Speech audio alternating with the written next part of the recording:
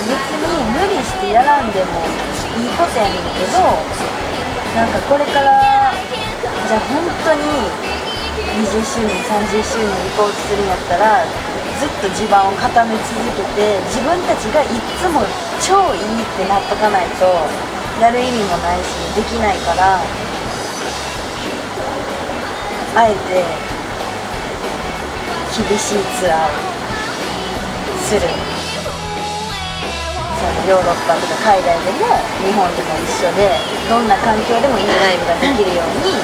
ずっと訓練しながらツアーするバンド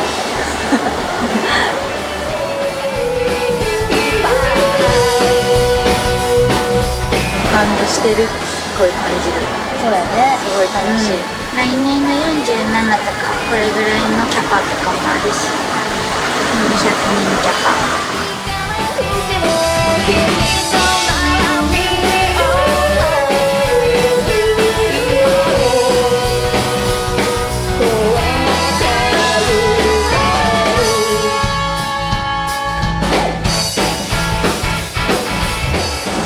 女子でもやらないそ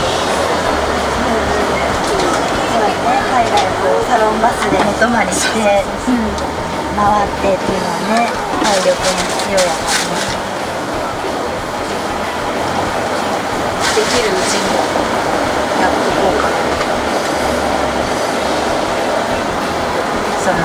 自分たちの機材を自分たちと一緒に車に運んでっていうのが普通のスタイルね、うん、始まりはみん。なそうだからさこれをするっていうのがスキャンダル好きでやってるからいいの